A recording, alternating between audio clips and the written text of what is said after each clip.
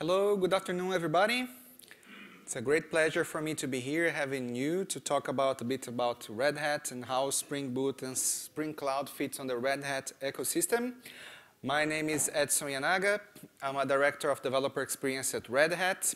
Uh, my Twitter handle is at Yanaga. I'm from the Red Hat Developer Program, which is the Red Hat business unit focused on uh, improving the developer experience of Red Hat products. So we're all about empowering developers to produce and craft better software and to deliver that into production. I'm also a Java champion and a Microsoft MVP and a Red Hat employee, which means that we live in a very cool world these days. I like to say that, at least I like to think that, in the end, it all means that open source won. Okay, so that's why we're all here discussing about Red Hat's products and technologies, everything open source. In particular, we from the Java world, we, we are benefiting from open source uh, software for a long time. Right? And I'd like to give you a tip. I don't know how many of you attended my session uh, on this morning, but I've just launched a book from O'Reilly, which is Migrating to Microservices Databases. I've been discussing DevOps for the past like five, six years, and microservices in particular for the past three years. And the number one question that always arises um, in every microservice discussion is if the best practice is to just split my monolith into microservices, and I need um, uh, one database per microservice, how do I deal with my old legacy monolithic relational database? I didn't have an answer for that, but I decided in the past like uh, one year and a half, I decided to do a research and I talked to many people worldwide how they solved this problem and I collected all of these experiences in this book, which is the ebook is available uh, for free for you to download at this URL or if you visit the DevZone yeah, uh, booth at the Expo Hall, you might get a printed copy. I was signing some copies before, before the session. If you didn't get a chance to pick one, uh, maybe we have some available left on the booth, right? And uh, I always like to start my sessions with, uh, with this quote from Forbes, which is now every company is a software company. I think that we live, uh, I also like to introduce myself as a software craftsman. And the best definition of a software craftsman that I have is that somebody who cares about his job. I truly believe that we're responsible for everything, every single innovation that is going to happen in the next thousand years. So I think it's not a, a, a, lie or a mistake to say that we developers, we are the most important people on the planet from now on, because everything that is going to happen, everything that is going to change this world for the better or for the worse, uh, is because a software developer is behind it. And we call this uh, digital economy. And I thought uh, that economy had to do everything to about, about money. But then after studying a bit of economy, I realized the economy is the science that studies uh, relationship between people. So economy has everything to do about people. So how are we using our software to benefit the people's lives? Because, uh, uh, because we know that we can screw people's lives too. Uh, we, we know the experience of being miserable using software that doesn't uh, attend our expectations. So some years ago, I decided to make a choice to make, um, to improve people's lives with the software that I do. And I know that if you are here today, that's because you also care and you want to improve people's lives too. So congratulations to all of you, okay? And just to say some uh, interesting companies from this new digital economy. Uh, the largest car transportation company in the world owns no cars, which is Uber. The largest lodging company in the world owns no real estate, which, which is Airbnb. The largest online retailer in the world owns no stock, which is Alibaba. And the largest content network in the world produces no content, which is Facebook. All of these companies, they have something in common, that they only exist and they're only enabled through software. So software changes people's lives for the better and for the worse, and we can consciously, consciously make a choice, right? I forgot to say, I'm a Brazilian Japanese, and I'm very proud to be here at Boston for the first time to present to you. And I have to, I have to tell you something, uh, it's, uh, which might sound weird in a Red Hat conference, but I've been a Spring user my entire life. Before joining Red Hat, I was an independent consultant, and of course, I was a software developer. I am still am a software developer, and I've been using Spring since version 1.0 beta 2. So I have some experience on how Spring evolved in the past, uh, uh, not just in the past few years, but the whole time uh, of uh, existing uh, Spring.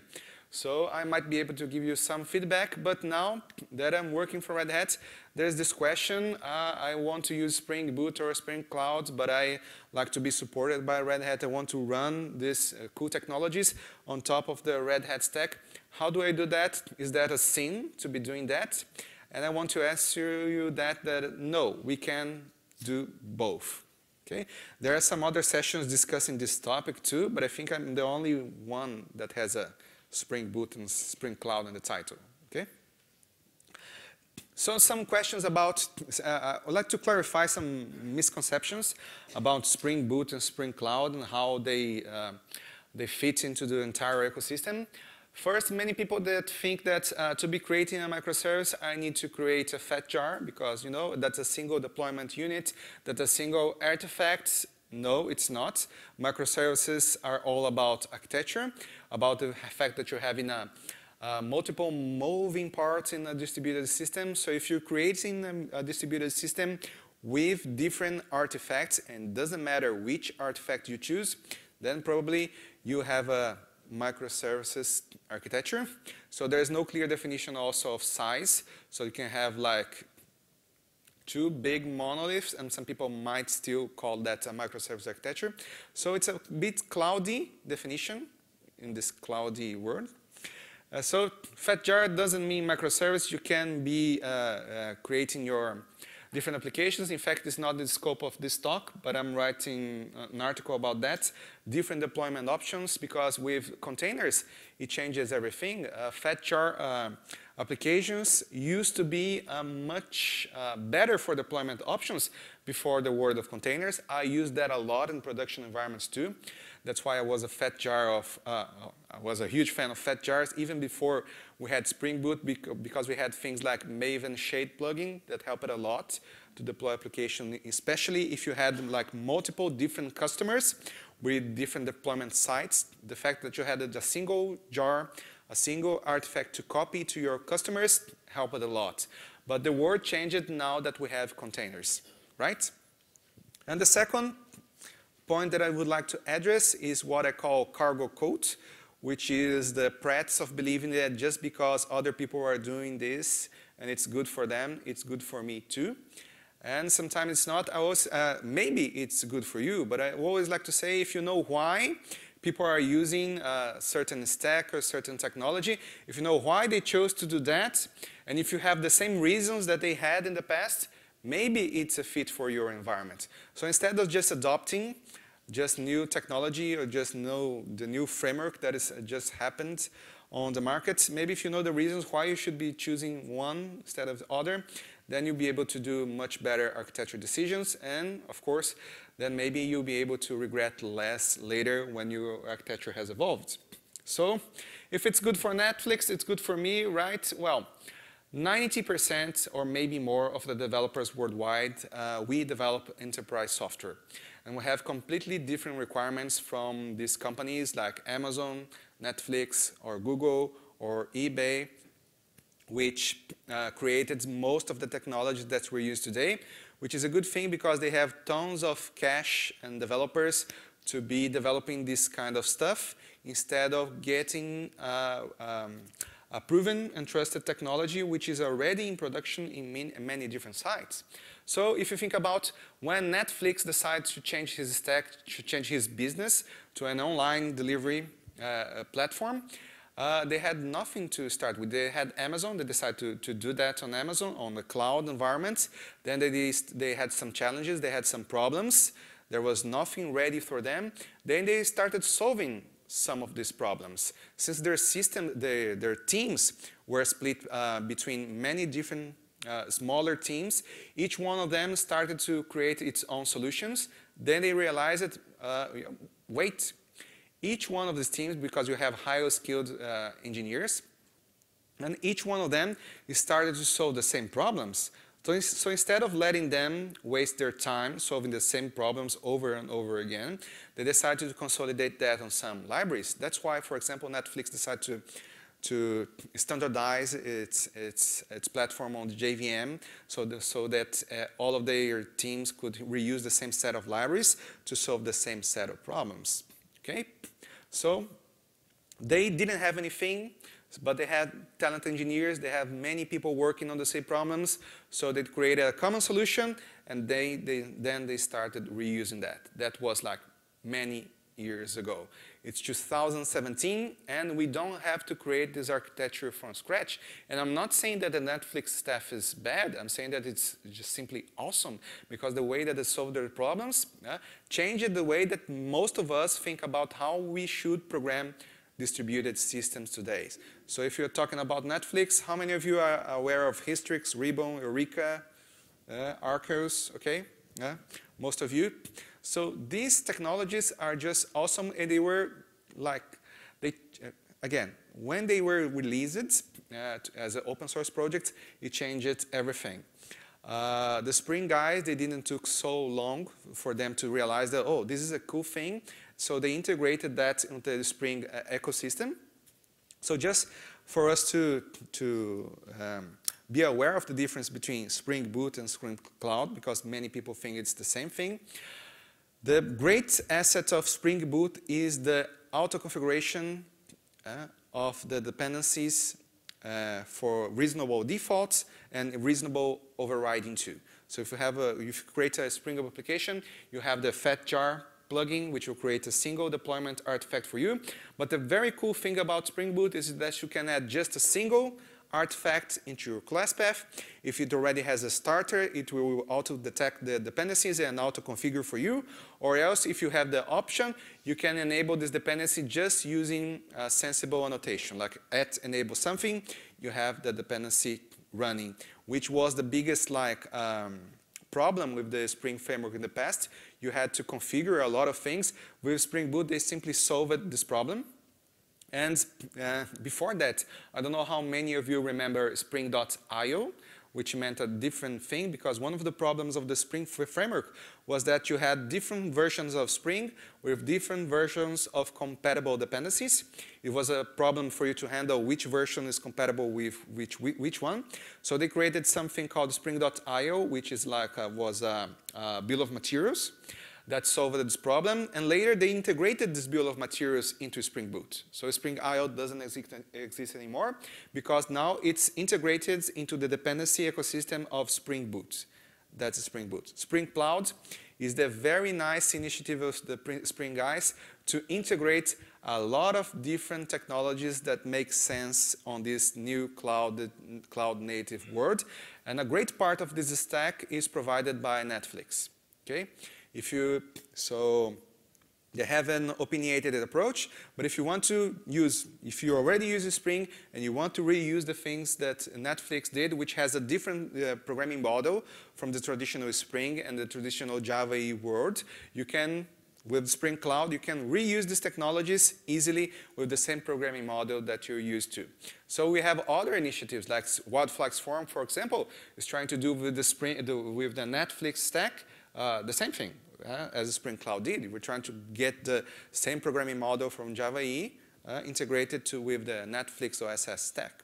So you see, there are some uh, uh, good things working on. And again, context is king because if we're talking about microservices and architectures, it's very important for you to know uh, how the things happened in the past, why they, these teams took the, these decisions, and how can we do different these days, okay? So when we're talking about distributed systems, there are a lot of requirements that you have to fulfill to have a successful distributed architecture or microservice architecture. I chose just five to make it shorter for us. So we have like five challenges, which is the challenge that we face uh, uh, at the early beginning when we're starting to create our microservice architecture, which are centralized configuration. If I have multiple moving parts, I don't want to have like 10 different ways or 10 different uh, points of, conf of, configuring my system because then my state is distributed and it's hard to manage. Then maybe I need to centralize the configuration somewhere. Uh, also distributed tracing, because in the past I had the stack trace to help me when things went wrong. But now when um, one single request can span through multiple different artifacts in the distributed system, and when I have multiple copies of a same artifact running, it's important for me to know into which of these artifacts the request came from. And if it's slow, because the problem is not a failure. When uh, something fails, uh, you know, uh, it's easy to spot on, but the worst possible scenario in a distributed system is when things start to get slow.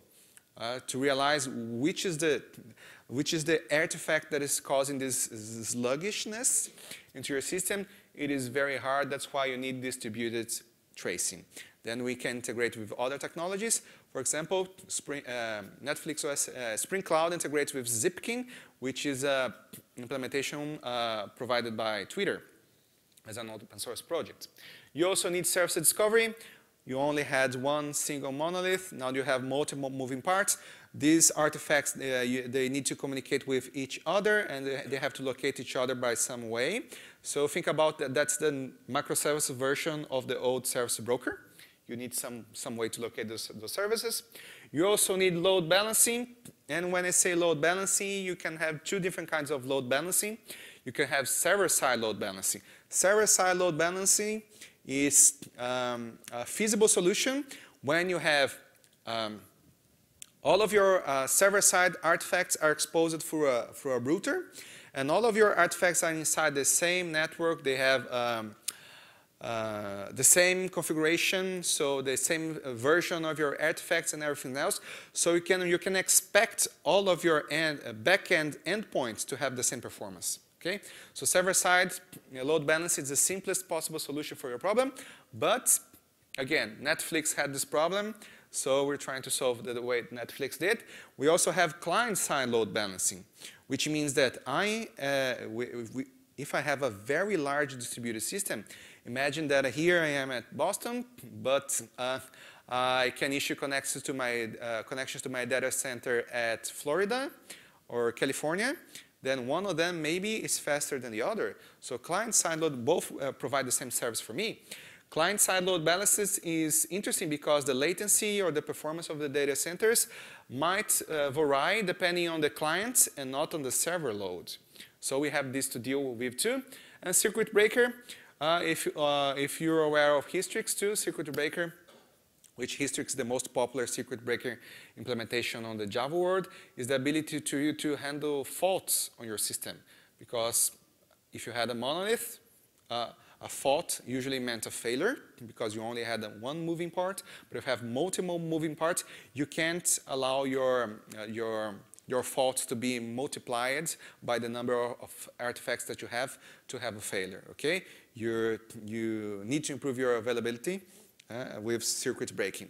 But then Netflix had to deal with all of this, all of these complexities because they didn't have anything to start uh, uh, with. So they coded all of these things by themselves plus the business logic of their systems, right? That's the, the context that uh, motivated the implementations from the Netflix OSS library. They didn't have anything. They, did, they had to solve these problems in blue first to then address the problems in green, which is their business use case.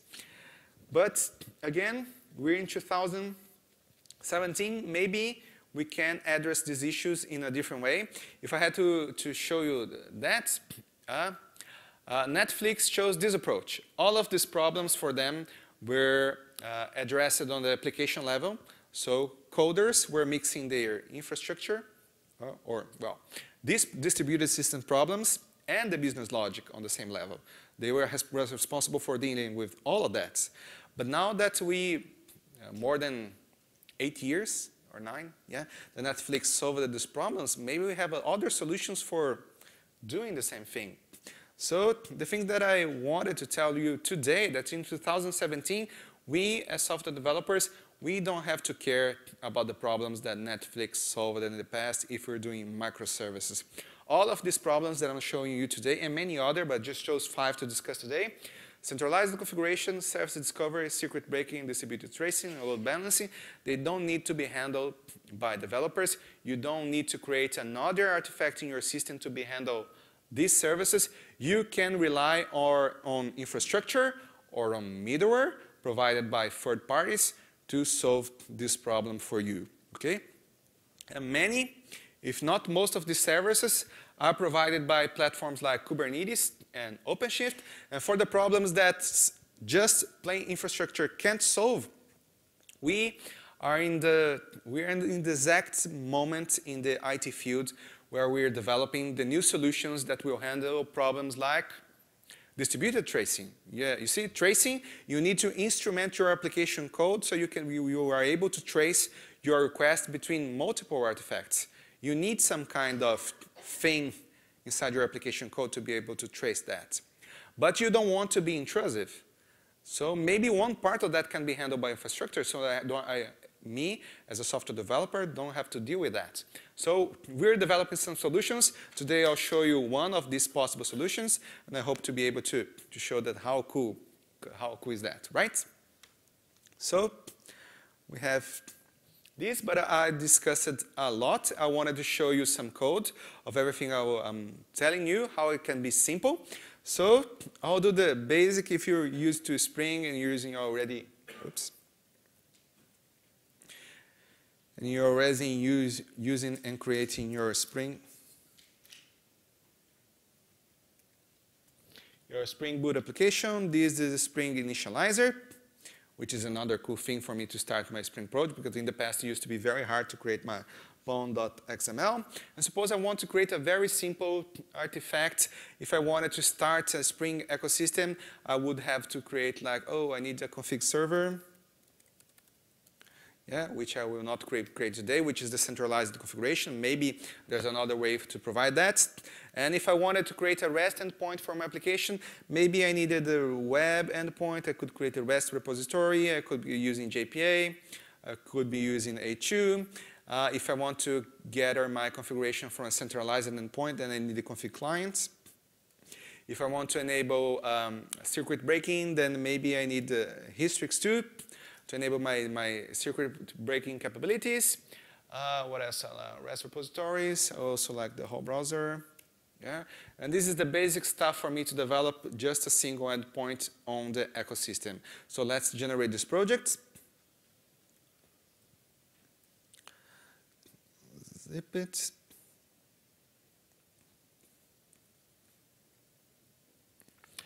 Okay, now my IDE is importing that.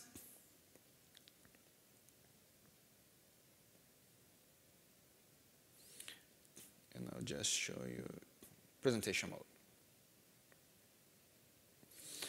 Okay, demo application. If I have here my Spring Boot application, uh, my Bootstrap class with the main method, if I wanted to enable Hystrix, I just had to ena enable Hystrix.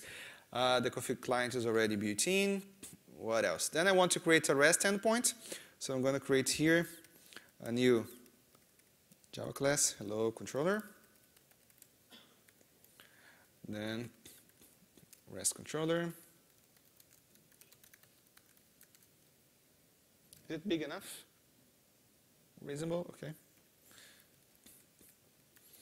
Method get path hello, right?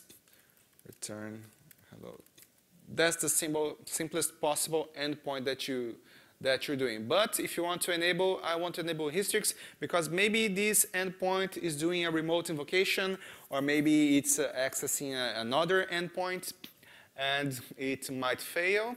So I want to add some Hystrix commands for that. If you ever try to use that, uh, why did I say that Spring Cloud did a very nice integration?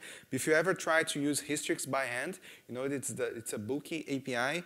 I had to create like something like this, abstract Hystrix command. Then I want to return a string. Then I had to Hystrix, oops. Oh, sorry. Hystrix command builder. Uh, just to compile, okay?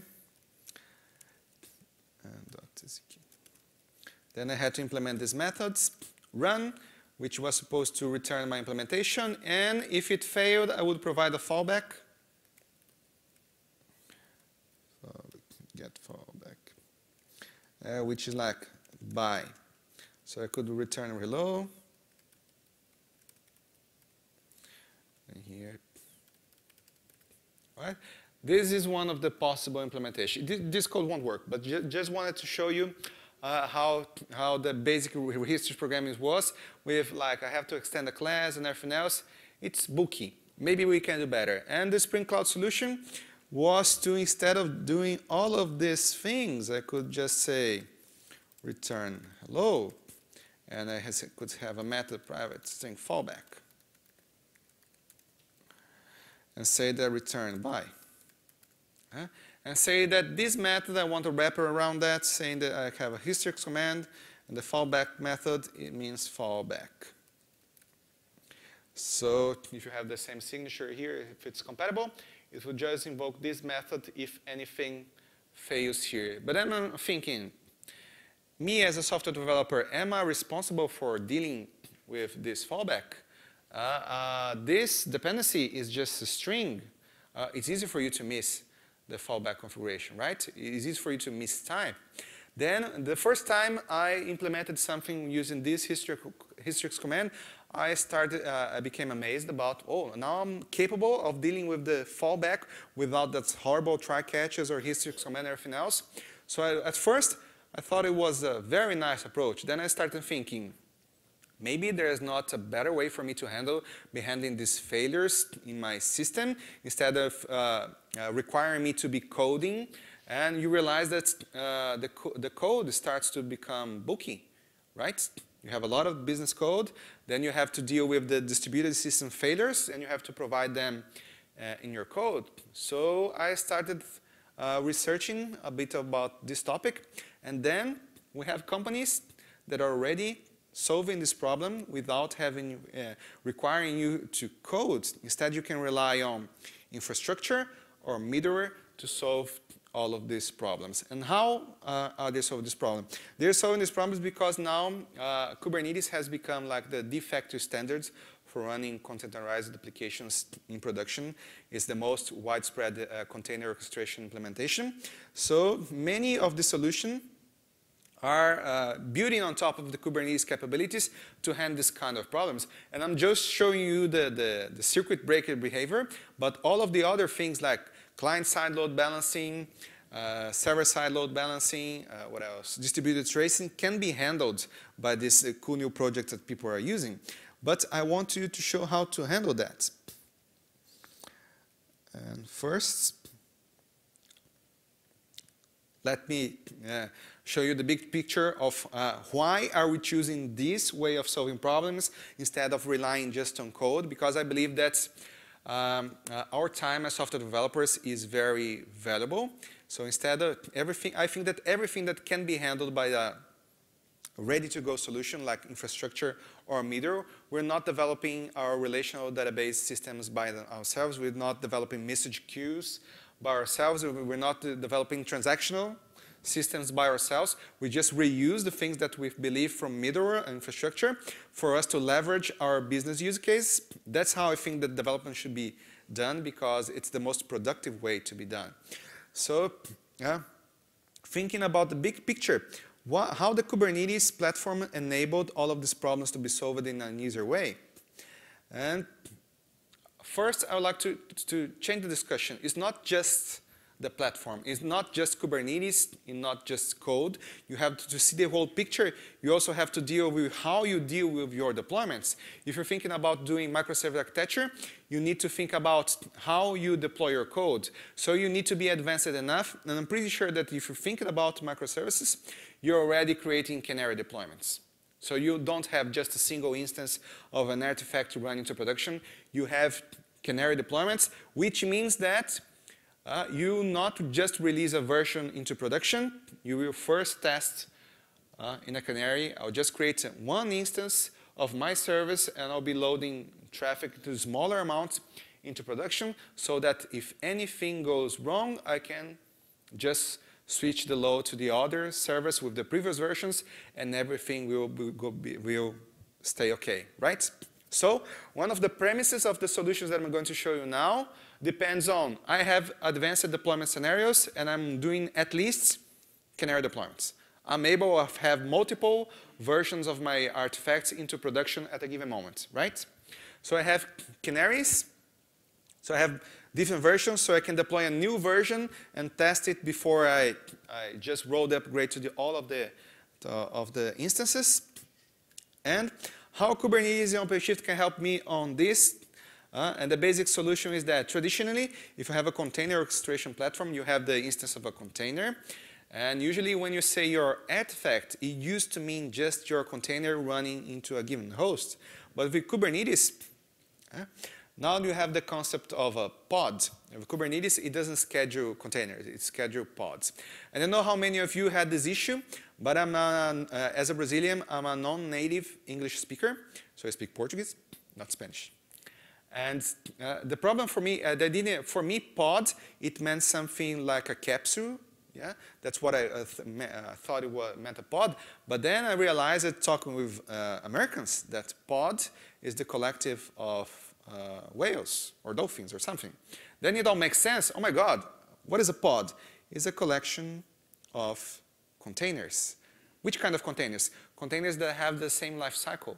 Containers that should be always scaled up, stopped, and start it together. Containers that share the same life cycle. Then we came with the concept of sidecar containers. What, we, what is a sidecar container? Sidecar container is a container that only exists to serve the main container. So imagine your container, your application container is the main container of the pods, but you can create another container, a sidecar container, that will help you with middleware capabilities that will help you to instrument and empower your application. What this sidecar container can do for you, it can handle you this kind of things like circuit breaking, load balancing, tracing, so that you don't have to put the, all of these things inside your application. You can just use a sidecar container for that, right? So that's what I want to show you today. Uh, we have some interesting projects uh, uh, with sidecar containers. We're evaluating which one of these options are going to be built in on the OpenShift platform, for instance. The most promising sidecar containers technologies uh, as of today are particularly Linkerd, which already is a cloud-native computing foundation project, and Envoy, which was open sourced by Lyft, right? We, I'm showing you, uh, this is a Grafana dashboard showing the statistics for a Linkerd installation. But uh, uh, Linkerd is written in Scala, and Envoy is written in C++. So um, it's just my particular opinion, not Red Hat's opinion.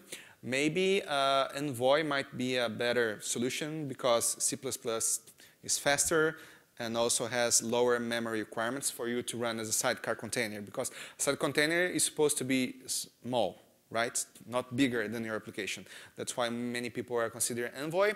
And not just Red Hat is taking a look at Lyft and Red Hat is taking a look at Envoy. We have other players on the industry like IBM, IBM, which are contributing to Envoy too. So that's one of the things that you should be, be taking a look. So imagine if you want to do this kind of circuit breaker that I show you here today, then you need code because this code uh, assumes that you will only have a single instance of your artifact running to production and if that instance fails then I'm supposed to give you a fallback to be delivered to the endpoint, right? That's the way you solve by codes. But then when we realize that you can have multiple different instances running into production, you can use something like I said, uh, Linkerd, which allows you to uh, Linkerd acts like a proxy. You have your application. Your application, it doesn't communicate anymore with the, the endpoint. The application connects to Linkerd. Linkerd acts as a proxy, and the Linkerd container connects to your remote endpoints. So if you have you requesting service A, and the service A has a canary deployment, oh, it's buggy. Uh, Linkerd realized that and takes the, the buggy deployment out of the um, out of the load balancing pool. So we'll be only issuing requests to the safe ones, right? It's all handled by the sidecar container. You don't have to type a single line of code in your application. You just have, in Kubernetes OpenShift, you just have to type um, a few lines of YAML inside your, your Kubernetes or OpenShift uh, deployment configuration, which will be created by, with the aid of your ops guys for you to create this deployment scenario. And will be automatically giving to you these kind of things. And I'll show you that this kind of scenario improves your availability even more than just pro programming your circuit breaker uh, in your application. Here, I have three different scenarios of um, circuit breaking functionality okay, which is much more uh, sophisticated than the one provided by Hystrix, for example. Linkerd and Envoy 2, they both provide the same set of, of capabilities. You see here, I had uh, three different instances, and this first graph, the first row here of the graph provides me the overall availability of my uh, responses to my clients.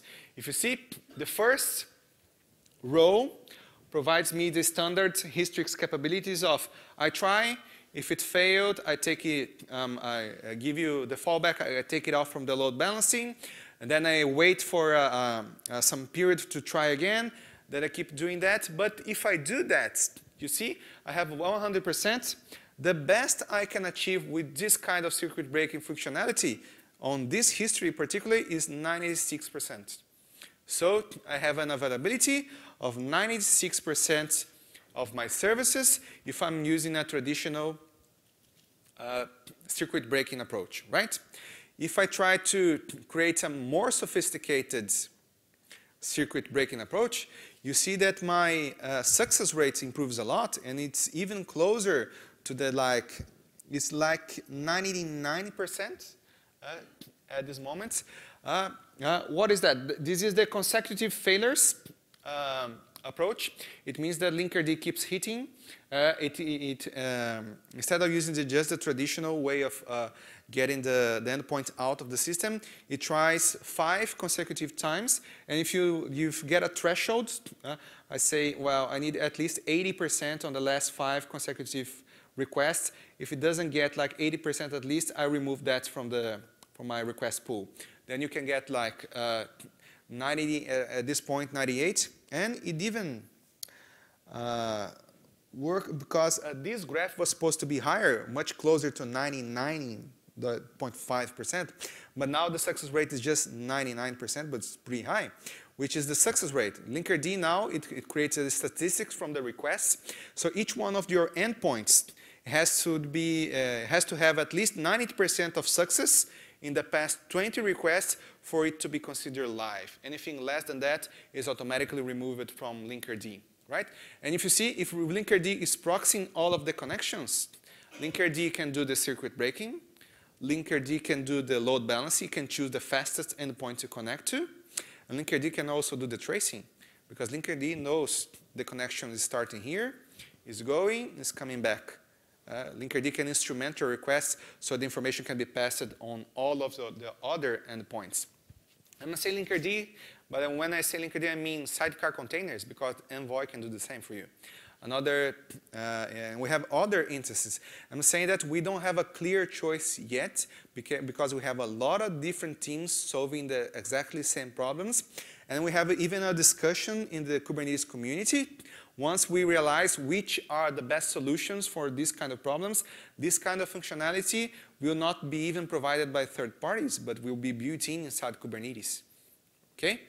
So, um, uh, that's some of the concepts that I, would like to show you today. I wanted to say that uh, it's great for you to code all of, all of these solutions, but it's even better if you can rely on infrastructure or middleware for you to provide these services, right? And you can see that uh, many different um, kind of problems are being solved every day more through sidecar containers. If you think in the past that uh, middleware used to reside on one specific server, this is the message broker server, this is the relational database service, because it solved very specific problems. The future of middleware solutions uh, is to reside on sidecar containers because many of the capabilities that we require today are not being provided by remote endpoints, but we're adding new capabilities to our application just by adding sidecar containers to our deployments, okay? This is clearly the trend of uh, future clouds and container application developments, okay? And that's the demo that I wanted to show you today. I still have five minutes for some discussions. I was discussing with some people outside. I know that many of you have some uh, questions about, about how Red Hat will continue to support this uh, uh environment. If you uh, to, uh, uh, at Summit, we're talking about new thing called OpenShift application environments. So if you were wondering, I want to keep using the Red Hat stack, but I want to use Spring Boot and Spring Cloud uh, we're offering different levels of support for different stacks that you'll be able to use. So uh, the cool thing, I want to use Artemis or I want to use uh, Infinispan, uh, JBoss data grids on my Spring Boot application, but it used to be so hard to configure. That's why Red Hat is providing all of the Spring Boot starter, Artemis, Spring Boot, Infinispan, uh, starters for Spring Boot. So you will be able to just add a dependency on your class path and to have it automatically configured on your Spring Boot application, right? So uh, you can check, uh, there are other sessions talking about OpenShift application environments. So you can check which, uh, um, which of the starters are being provided and which is the level of support into each one of these um, starters, right? So what else, what I had to say? Uh, developments, you might think that uh, is it hard to be creating these sidecar containers or using these capabilities or you deploying these applications in a Kubernetes environment. In the previous session, I believe they show you they showed uh, a solution from Red Hat, which is the Container Development Kit, which is a virtual machine. You just type one one type. Uh, it's a Vagrant up or a Minishift start, which is a complete OpenShift and Kubernetes cluster that you can spin off on your, in, a, in a small VM on your machine. Uh, and you also have, if you're having trouble deploying your application to the Kubernetes platform for packaging or anything else, how many of you have heard about fabric8? Okay. fabric8, uh, it's a problem when I ask that because fabric8 used to mean a lot of different things to different people. So I don't know which part of fabric8 have you heard about. Yeah? The fabric8 that I'm talking about today is the fabric8 plugin for Maven, which allows you to deploy, package, configure, and develop your applications on the Kubernetes and OpenShift platform, right? There are other sessions showcasing this, uh, this uh, plugin capabilities, but uh, in case you just uh, find James Strachan running on the corridors here, he is the, one of the creators of the fabric8 Maven plugin. And one of the cool features that we have for developing Spring Boot applications, if you, if you add the plugin, the fabric8 plugin automatically detects that you're using a Spring Boot application. So it automatically configures for you your container and your OpenShift or Kubernetes template for deployment. It automatically configures you the starting points, the memory configurations, the, the stack configurations for Kubernetes and platform, and automatically also uh, adds the right uh, readiness and liveness probes for your Spring Boot applications. So the, the plugin is smart enough to detect that that's a Spring Boot application and provide the right configuration for you in Kubernetes OpenShift so you don't have to worry about it, right? And uh, that's what I had to show you today in this short talk. I hope it's useful for you, and I'm available for some questions for you. Uh, thank you very much.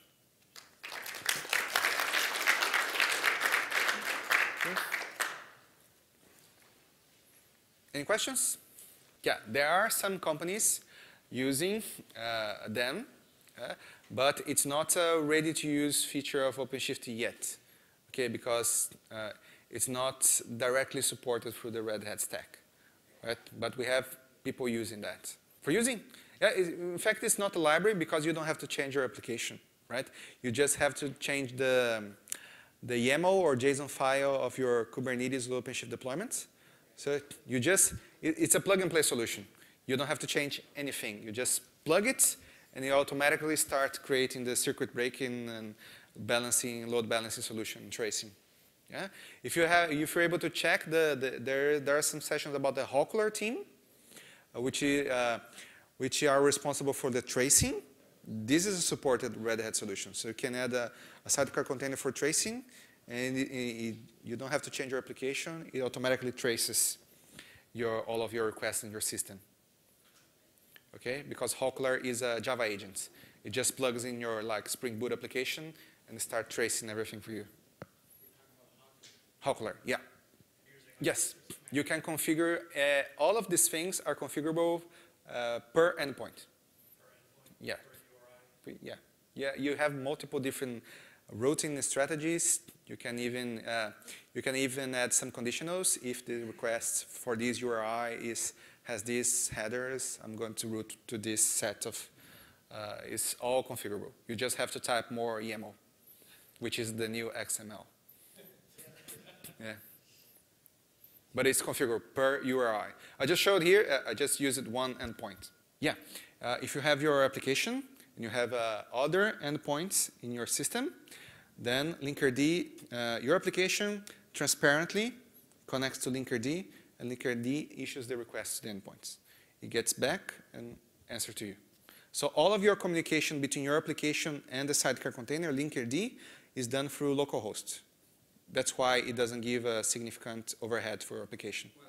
Yeah, Linkerd acts on the client side. It doesn't, uh, it doesn't intercept outbound requests, even though it could, but it's, it's not a default behavior. Right. Yeah. I'll, gi I'll give you a, a, a, a, tracing scenario, for example. Right. I have my application. Uh, uh, this endpoint is external. The requests are coming. Then my application needs to uh, query another uh, microservice, right? It will proxy through Linkerd. Linkerd will connect to the remote microservice. But since that remote microservice is internal and I want tracing, then on that one, Linkerd will proxy the incoming connections too. Yeah, and will, uh, when the response comes, uh, you'll get back through Linkerd D again, then I'll have the full trace information.